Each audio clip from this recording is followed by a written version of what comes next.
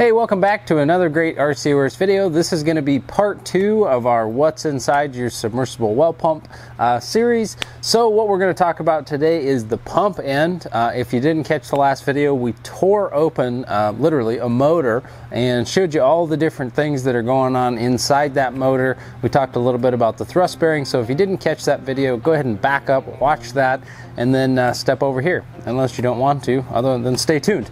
So anyways, uh, submersible well pumps. We've got multiple stages of impellers. We have talked a little bit about these in the past. Um, so what we have here is an old pump that we recently replaced, uh, and we have the stack kit that came out of this pump. So this is just an empty, see if I can set this up without knocking it over. This is just an empty body of what used to be the pump.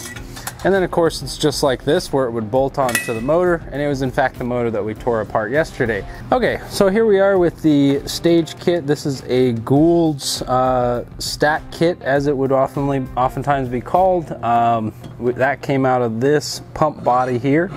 Uh, so this is just comprised of a bunch of wafers, essentially, where this one is damaged. Hopefully maybe you can see that.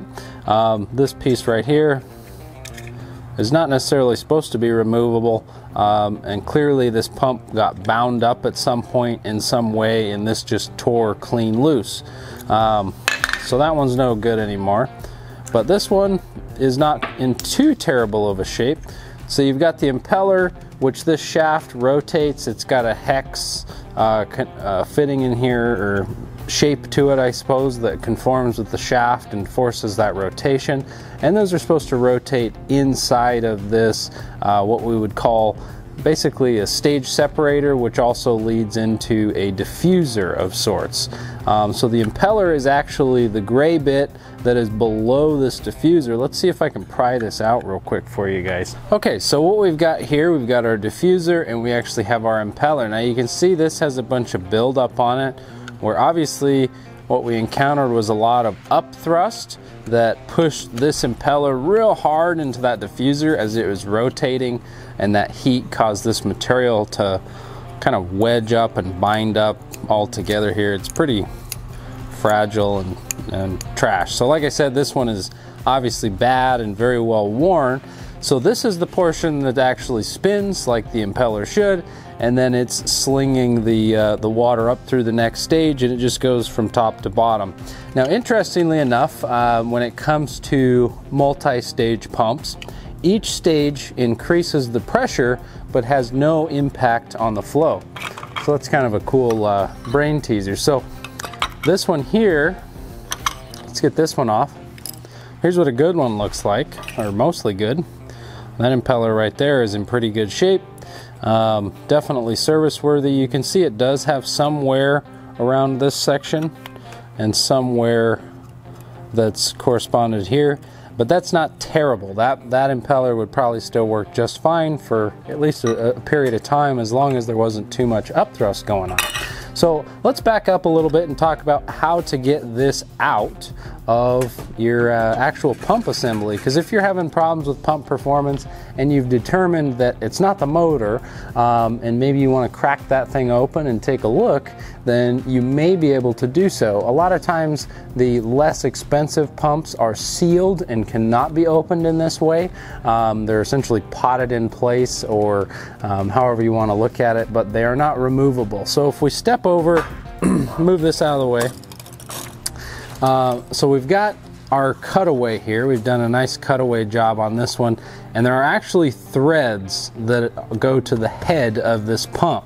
And these threads are, are, just standard threads in most cases. Sometimes I've heard rumor that these can be reverse threads, but I've yet to run into one that is uh, reverse threads. So you can see here, hopefully on the pump body uh, that we've already removed the head from, that those threads go quite a, quite a ways in there and they're relatively fine threads. So you want to be careful when you're removing those because this is mo in most cases going to be stainless steel on stainless steel. So you do have potential for galling. So don't get too carried away with over tightening or loosening too rapidly because uh, you can run into some galling. The major thing that's going to hold you up is you can disregard these screws. These are just demo um, to hold this uh, steel more close and uniform. But your pump at home is going to have these screws for the cable guard, which actually thread all the way through the body into the head assembly to keep it from being able to rotate on purpose. Um, so you're going to have to remove these screws, and usually the way that I like to do it is I'll take a, a towel or a shop rag wrap it around the pump so that I can put it in the vise without causing any damage to the body of the pump get a decent hold on it. Don't over clamp it down or you can potentially damage the internals because uh, it's not super thick steel in most cases on these. And then once it's in the clamp, I can use a pipe wrench or a, a larger box head to remove this uh, just in the, in the standard lefty loosey righty tighty type of format like I said in most cases. So it's fairly simple to take these apart some things that I like to do um, before I even start taking it apart, obviously your first step, take your motor and separate it from your pump if you're troubleshooting, um, and then try to rotate each accordingly. And I do believe that we have some videos where we go more in depth on troubleshooting a motor and troubleshooting a pump, so you can refer to those um, if you need more detail, or of course you can always give us a call if you need some advice. So Interestingly enough, there's a lot of different impeller designs uh, and stage designs that we have out there. So this one here, this is an AY McDonald with a uh, glass reinforced plastic impeller with a plastic diffuser. Um, and then as you saw here, this one is the Gould's. It has stainless steel uh, separating cups, whereas the AY McDonald does not have those. So from a price standpoint, I would assume that this Gould's is going to be just a little bit more money than this AY McDonald. But they both share a commonality that they each have what is called a floating stack design or a floating stage design. So as you could see when we were taking this apart, obviously some of these are stuck together because they're bad, but as we get farther in uh, to the pump, all these components are not fixed in any way to the shaft. They just simply slide up and down freely, and that's so that if um, you have uh, sediment or things of that nature that pass through the pump, the impellers have the ability to move up and down to get the heck out of the way. There's also a such thing as a fixed stage design, which uh, the best example, or I guess the most prominent example I can think of is Grundfos. Uh, their impellers are stainless steel, their diffusers are stainless steel, and they're a fixed design so they don't allow movement. Instead, they're just a really tough and durable material. Um, so, kind of multiple ways to approach it. And oftentimes, if you've got really crazy water, um, whether it has a lot of sediment or it has a lot of um, organic material, you know, there's definitely a right pump and a wrong pump. But generally speaking, uh, on relatively clean water, the difference between a, a, fixed stage and a mobile stage type of a design, uh, you're going to get similar performance out of either one. So that's basically in a nutshell. Oftentimes in uh, well pumps from 5 gallons a minute up through 25 gallons a minute, you will have a built-in check valve.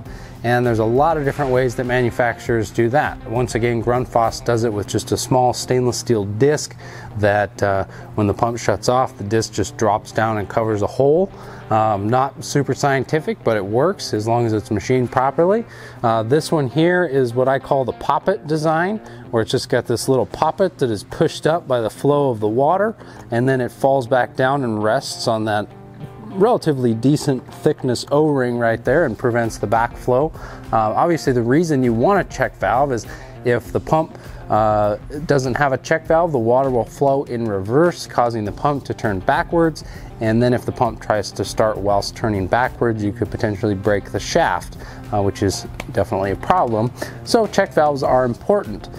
Um, and that's basically the inside of a pump. It's super simple. They all, uh, each manufacturer's design is just a slight bit different. Some have O-rings in some places that others don't. Some of their stages and stacks go to, together slightly differently. If you need to order a stack kit for a pump and it's a product line that we carry, feel free to give us a call. We can help you locate uh, the parts and pieces to put that all back together if you want to make an old pump serviceable again. Keep in mind, oftentimes these kits are not necessarily that much less money than a new pump, and oftentimes a new pump is going to come with a full warranty. So you'll have to make that evaluation yourself on whether or not it's worthwhile. Um, so I think that that's pretty much inside of a submersible well pump. If I missed anything, if anybody wants uh, has any questions or is curious to see anything in more detail, feel free to leave that in the comment section below. Thanks for joining us today, and we will catch you next time.